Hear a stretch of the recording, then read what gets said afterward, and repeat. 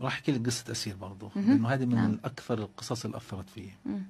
آه، كنا إحنا زي ما حكيت لك بنطرح هذا البرنامج في يوم آه، اجى عندي على المركز آه، أبو أسير فجايب مجموعة من الناس وجايب ابن ابن أسير وهو يعني ما بدنا نذكر اسمه المهم ف وجايب بوكيه ورد كبير وكذا فتفاجأت بقول من حضرتك قال قال أنا أبو الأسير فلان الفلاني. قلت له طيب قال أنت أنقذت ابني من الموت. قلت له كيف؟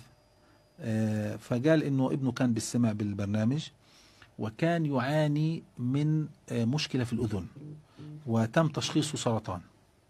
تمام؟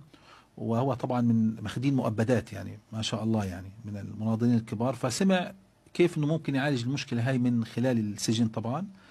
فعمل الوصفة آه، بعد أسبوع كان له آه، مراجعة عند الطبيب الإسرائيلي طبعا في السجن تفاجأ أنه تم شفائه بشكل كامل.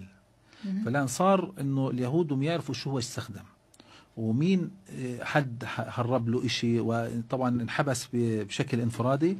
فمن أول ما طلع من العزل اتصل على أبوه بطريقة ما قال له الآن اطلع على دكتور محمود الشيخ علي وخذ له اشكره و وإلى آخره. نعم. فصراحة يمكن هذا من أكثر المواقف اللي أثرت نعم. في إنه كيف معلومة عبر الهواء عبر ال ال الإذاعة قدرت إنها تصل يعني مشكلة إنسان هو بأمس الحاجة إلى إليه